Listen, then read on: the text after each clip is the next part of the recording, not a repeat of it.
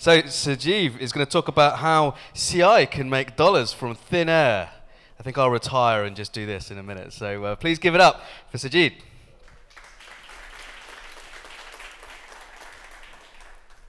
Oh, hello. Can everyone hear me? Okay. Sweet.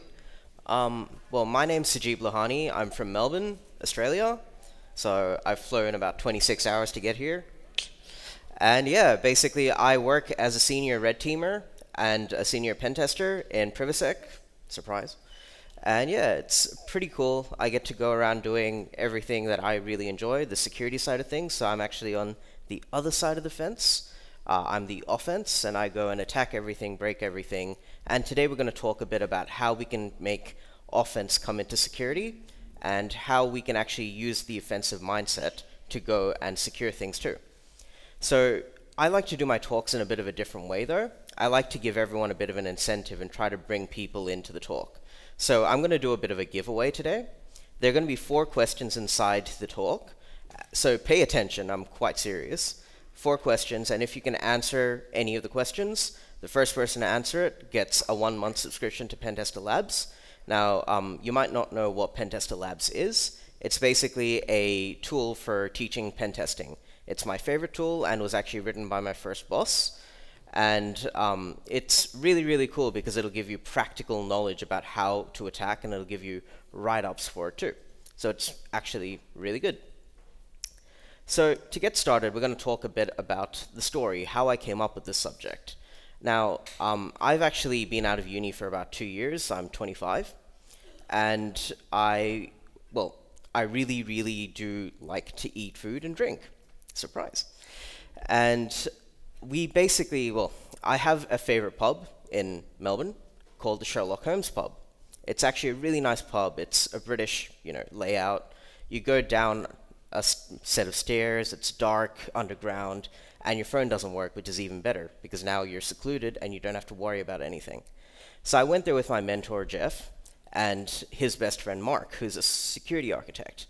And we basically sat down and I got talking, saying, okay, I want to buy a house soon, but buying a house in Melbourne in the eastern suburbs where it's actually safe, you're not going to get stabbed, is pretty hard. I mean, a house costs probably about a million bucks, which as a 25 year old is not easy to get. So, surprise, surprise, we thought we'd come up with better ways to make some money. So, we took a bit of a break, came back to it, and oh, obviously, alongside any kind of drinking session comes a bit of betting. So, anyone who comes up with the best concept was basically going to be the one who got shouted drinks. Awesome, more drinks, more food. So, started the competition. One week break, everyone came up with their ideas. So, we started off with Jeff's idea. Why don't we write a malicious XSS payload, so running JavaScript, to run in other people's browsers, make a popular website, or we could use a stored cross-site scripting bug, and go shove it out to everyone and mine bitcoins through their browsers. It works, it's great. However, it'll get you arrested very quickly. So Mark came up with the fact that why don't we just write some ransomware? Very easy. There's actually a few softwares that are generated for you. Um, but in actual fact, yet again illegal and will get you arrested extremely quickly. So the next thing is, why don't we pop the internet a shit? Oh, by the way, I'm Australian, so I will swear a lot. Sorry. Um, the answer to that is because you're going to get arrested yet again. Very, very easy to get arrested in InfoSec. So, actually, let's start off with this. First giveaway question What's the name of my favorite bar? Can anyone answer that? Shoot. Sweet. Can you talk to me after and I'll give you a subscription? Um, so the eh, basis of my talk today is what I ended up coming up with as a solution for how to make money. And let's just say it works. Full disclaimer though, let's start it off by saying you do not have permission to do this. I did have written permission. Unless you have written permission, do not try any of this at home. Um, also, keep an eye out for the terms of services. Just because it doesn't say anything specifically, it can be quite, you know, conclusive with legal terms, which I don't understand. But yeah, just make sure you get a good look at things before you go crazy. So, what's in this talk for you? One, we're going to talk about how to make money. Two, we're going to identify different attack scenarios. And three, we're going to try to figure out how to save money So in the end, everything is about money. So just as a quick rundown, does everyone know what a CI is? I assume you probably know that better than I do. Um, basically, just for anyone who doesn't, it's a continuous integration server. So it's integrating different parts of code, large blocks of it together. Maybe you have three or four different um, development teams. We fuse everything together in one place and run your different tests. So you could have unit tests checking, you know, if integers are correct, if you're getting the right values, if you handle weird input correctly and things like that. You could also have different standard checks. You could have security inside it. You could have things like static code analysis checks, etc., etc. But my favorite part of this is actually you can do multiple environment checks.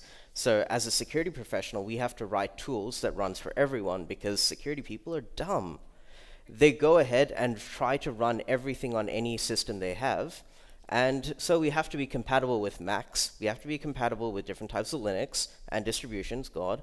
And then we also have to be compatible with Windows, which is a nightmare. And yeah. So how does this actually make us money? Now, does everyone know what a bug bounty is? Got a few nods, but not too many. Cool. So a bug bounty is basically companies come and pay you to go and find bugs in their systems. But these are security vulnerabilities.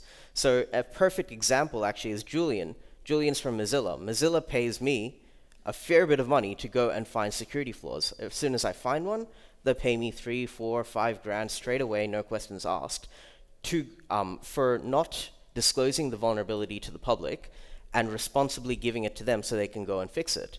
It's a great way of getting cheap labor very quickly from thousands of people, but in a smart manner. Because, I mean, if you're smart enough to get it, well, you just made some money very, very quickly. So we're going to use bug bounties initially to make some money. You can actually do things like this. Now, this is one of my favorite platforms. Uh, my favorite one is actually Bugcrowd because I'm a Bugcrowd ambassador in Melbourne. But my second favorite is HackerOne. HackerOne is really cool because it allows you to publicly post out vulnerabilities, but it'll also pop on layers of encryption to make sure that no one else can see it until it's publicly disclosed. So this one was actually a vulnerability that a guy found, which is basically going into the Travis CI logs and finding GitHub personal tokens. So this gives you full access to a person's GitHub account, um, depending on what type of tokens they are, obviously.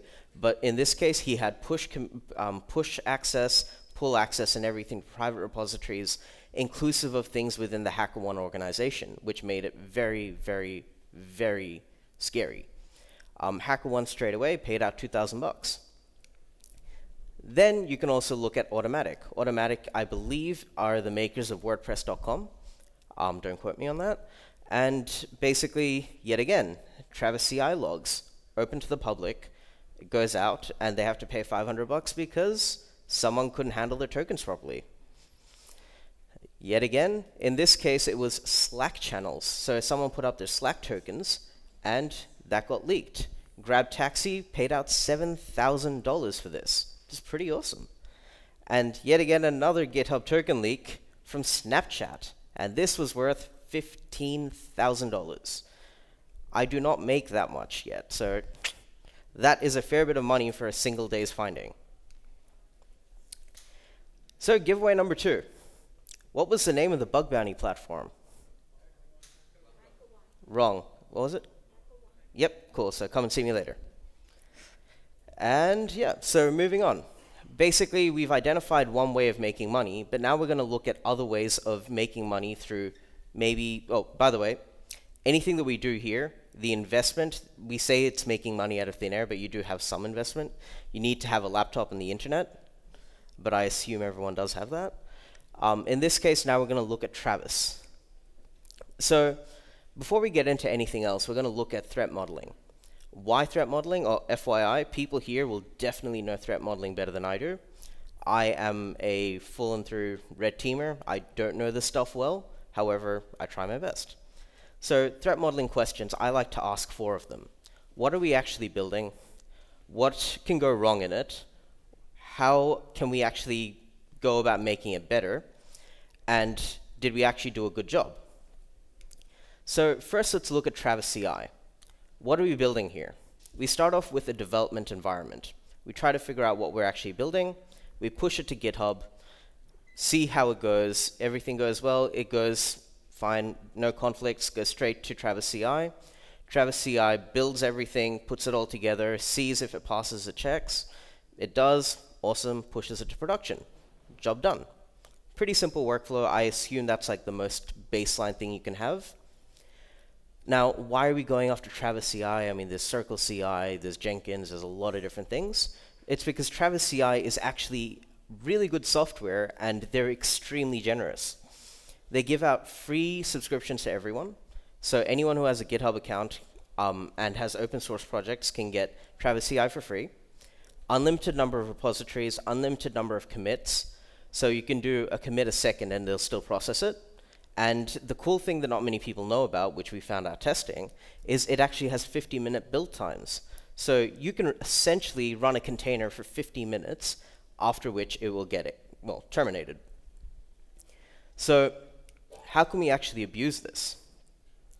This is basically giving us free CPU cycles with bandwidth, which is awesome because I don't know if you guys know how bad Australia is, but Australia's internet speeds are abysmal. We're one of we're actually worse than a lot of third world countries. So for a bit, this is actually how I sped up my internet. Pass it through a container, job done, don't care.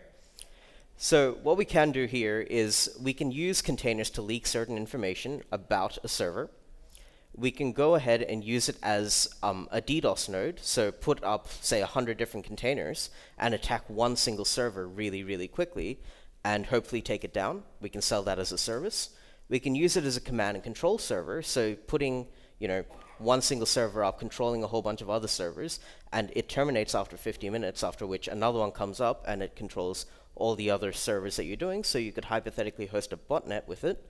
You could do distributed Bitcoin mining, so you're actually going through and mining Bitcoins for 50 minutes on each container, do 100 commits. Now you have 50 nodes doing Bitcoin mining for you for free.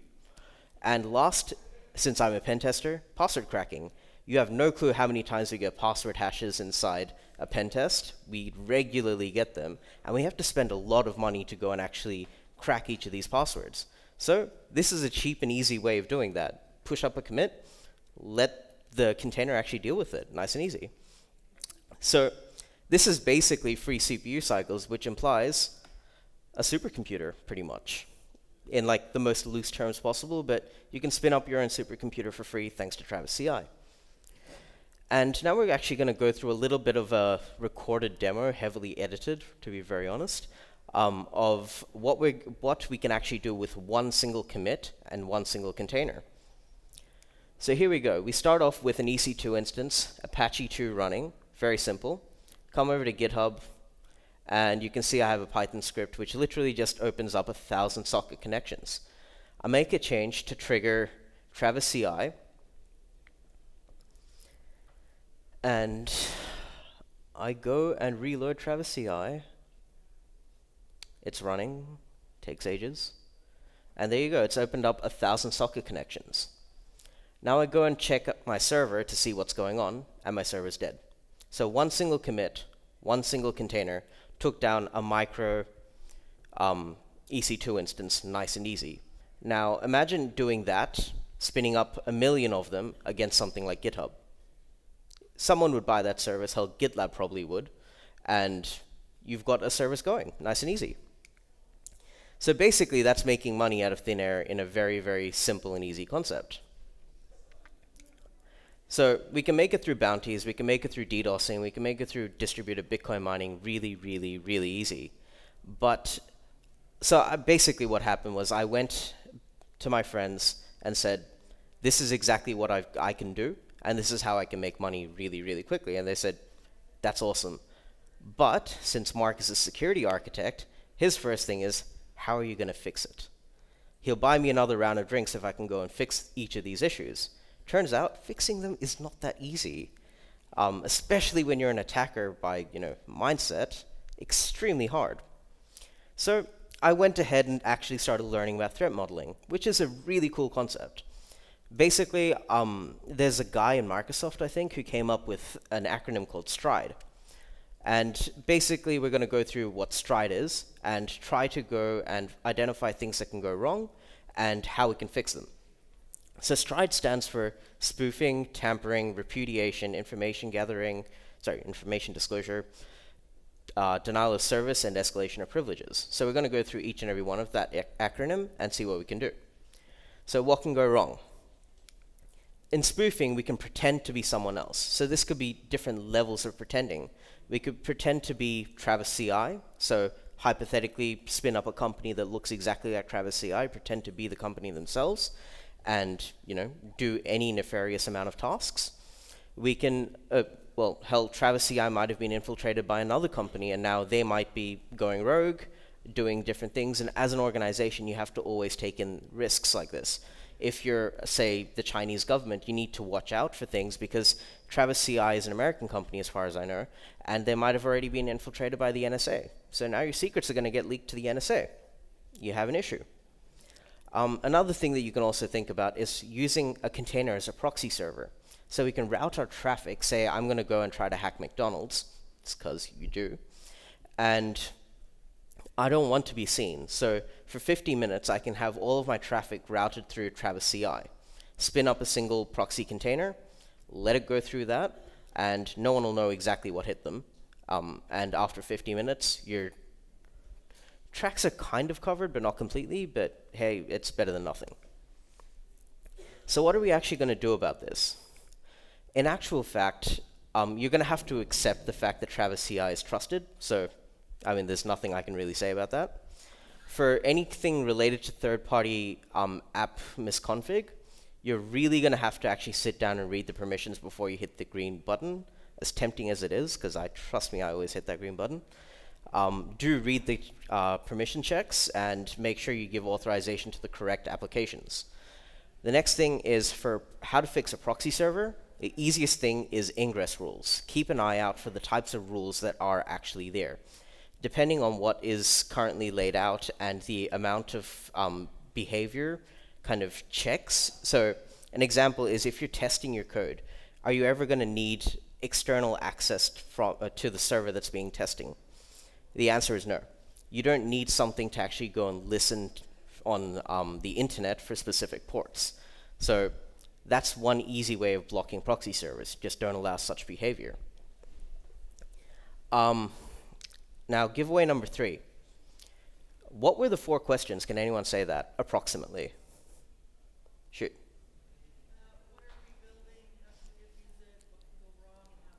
You have a picture, don't you? That's smart.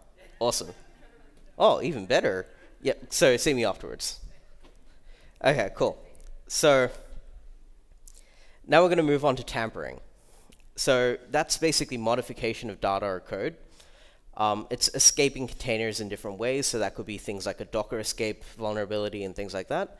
And it's also the segregation between each of these containers. How segregated are they? Can you jump from one to another? Can you actually, you know, do anything crazy? Can you spoof traffic and things like that? So after a fair bit of research, we found out that it is extremely hard to escape a container. However, thanks to Docker's vulnerabilities and the security researchers attacking Docker very, very regularly. Uh, this year, there was actually a bug that was released, um, I think, and it would basically allow you to break out of a container and go straight and take over root access of the host because Docker runs as root most of the time.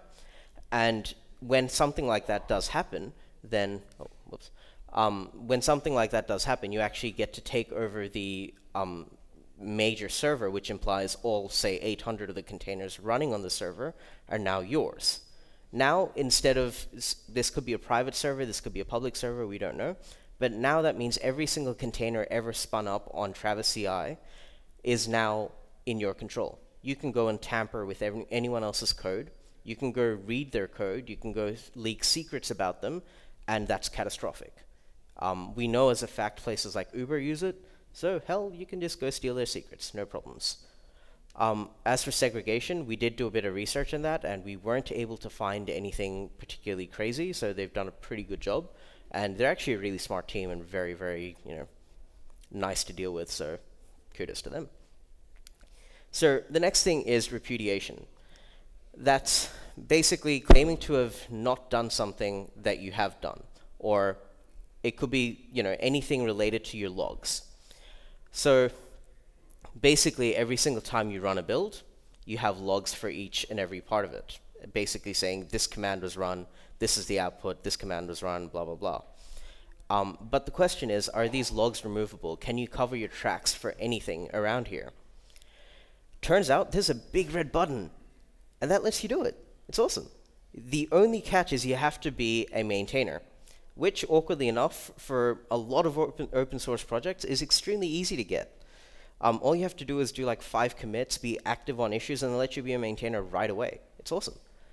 Um, Travis CI also states that it is a permanent delete. However, they've never proven the fact that it is. Um, it's very hard to prove, so I don't blame them. But this implies that should there be, if it is permanent, then um, there could be issues with things like incident response. So say someone actually goes, pushes something malicious, and manages somehow to remove their commit, then you can basically go remove the logs and no one will ever know about that and you have malicious code running around inside your repository and no one can do anything, which is pretty scary. The next we're going to move on to the I, which is information disclosure. So we're going to talk about how people love to expose information inside repositories. It's really cool. Um, I've made a fair bit of money off this. When people go into their um, Travis CI, you know, builds or be it um, inside their actual source code, and go and expose things like GitHub tokens, just as um, Julian was saying about Firefox. We find it not every day, but probably every week. Um, someone's gone and leaked credentials. Like um, it, we've got some pretty fun examples of it.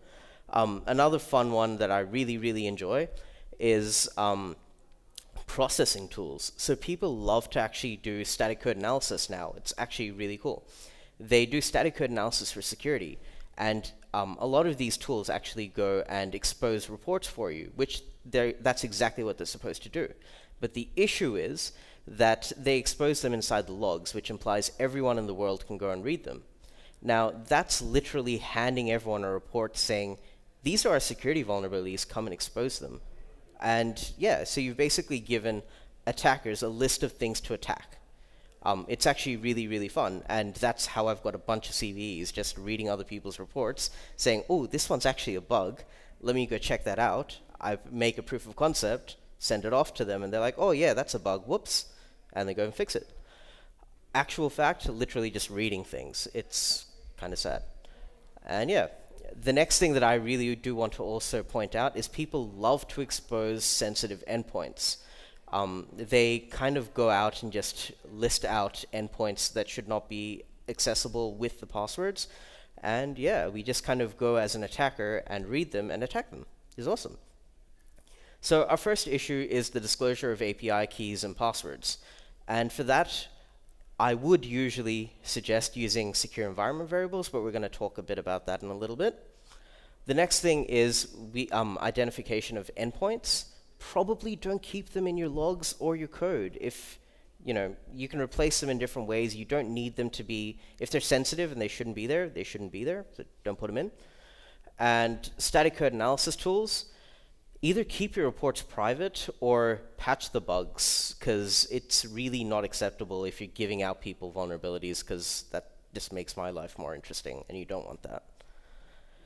So I was talking about secure environment variables, and basically, it turns out that Travis CI has made a pretty cool thing. Um, this was actually a bug made by, uh, found by Andy Wegner. I think it was in 2016 to 2017, and it's basically a flaw that he found within the way Travis CI does secure environment variables. Now, to a normal developer or pretty much anyone, they'd assume if it says, if a vendor says it's secure, it's secure you're going to go ahead with that because trust me, I started using this too until I read this blog. And I mean, as a usual person, you don't go ahead and try testing things, so it's like, okay, cool, it's going to work, no biggie. And then you go and actually look into it a bit deeper. How does it actually know which one's which? The answer is we leak them.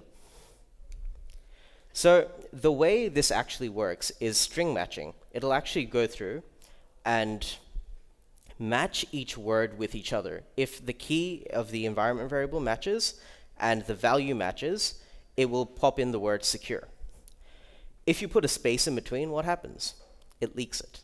It's literally as simple as that. It doesn't actually follow the application flow at all. It just says Yep, there you go. Keep it. And it's exposed in the logs. Uh, there was also a fun little bug in Travis CI once upon a time, which um, as soon as you put in a pull request, it would actually run with the secure environment variables.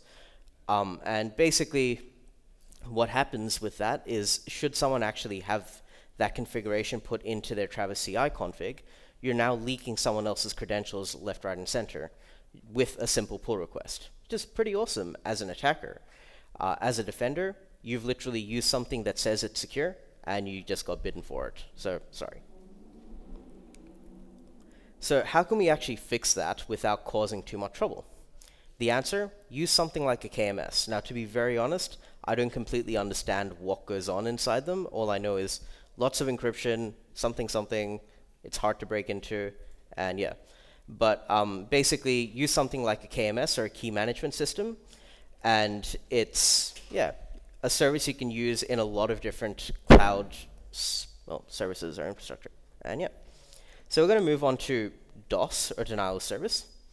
So the first type of DOS is bandwidth. You can actually use these containers to consume a lot of bandwidth and um, send out a lot of bandwidth really, really easily, really, really quickly, the equivalent of smashing the F5 button.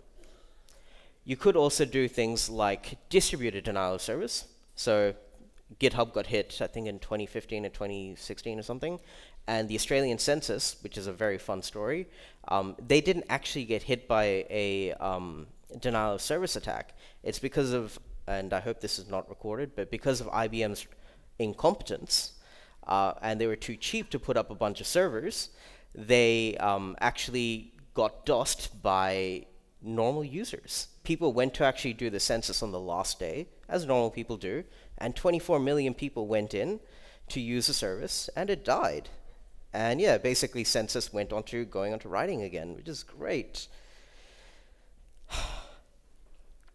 yeah, so then after that we have things like traffic routing.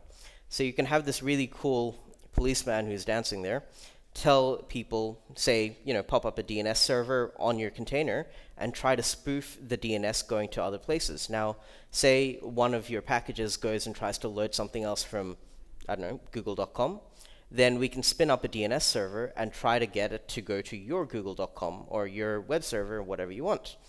Nice and easy. Now, how do we actually fix these things? Turns out that um, distributed denial of service attacks, it's a little bit hard to fix, but usually you can fix a majority of it by limiting the amount of connections and traffic going through. So don't allow people to throw out gigabits. It's pointless. Um, don't allow a thousand socket connections, probably allow 10 and you're good. Um, the next thing is routing traffic. From our research, it's actually really hard to do that, and they do have proper segregation, so we weren't able to. However, I'm sure that one or the other container you know, providers have stuffed that up, so keep an eye out. The next thing we're going to look at is elevation of privileges, or how can we go further. And basically, that's basically looking at authorization checks and how we can stuff up authorization and misusing maybe sudo. So, fun fact, Travis CI lets you do anything you want with sudo, which, I mean, if you're going to install things on your container, makes perfect sense. But sudo is the only thing that you can actually, well, the only thing you really require to do things like Docker escapes. So it's a feature, but it's also the biggest weakness because that's exactly what you need to go and break out and take over other people's containers. And yeah. So in the end, did we actually do a good job? Did we go through and identify each vulnerability, each place, and everything? My friend Mark thought so, so I think so. And giveaway number four, what is the full form of stride? Shoot.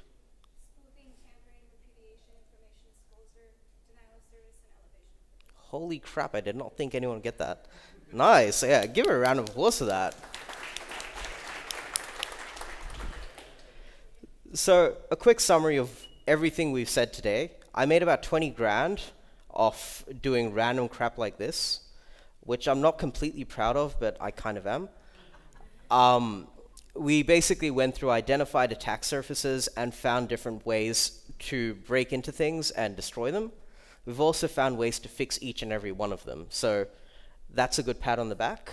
And yeah, in the end, I won a lot of drinks and got pretty intoxicated, and um, trying to pass this on to everyone else. I want everyone to go and think about the different types of bugs that they've found or you know different types of software they've used. Just because you use a software doesn't mean that you can't think about the security behind it. Security may not be your job, as Tanya said. Security is for everyone. It is a part of everyone's job, and as long as you put your part into it, just because you're a developer or a solutions architect or something, does not mean the security is not your job. It means that you can think about it and you can make the difference. You can save your company money. You can go out, look at different issues, talk to someone in a red team like me, and find maybe different vectors to attack. Teach us something, and we'll give you a share of the bounty if we find anything. So you can make money off it too. And if you're on my side of the fence, then it'll teach you how to hack things better because doing this, I learned a fuck ton. And yeah, any questions?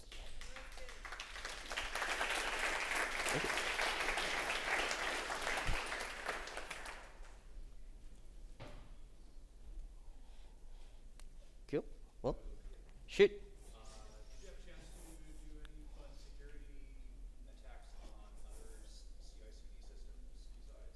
Uh, let's just say I don't completely have um, permission despite Jenkins, and we did find some fun stuff on Jenkins. So, anything else? Yep. So with Kubernetes, they mount secrets using volume mounts or environmental variables. Do you have an opinion? Uh, frankly, no, I don't. I, I'm not well versed enough to be able to say anything, but I can read up and let you know if you want. Oh, that's okay. I just wondered if you had an opinion. Oh, sweet. Yep. Sweet. Thanks.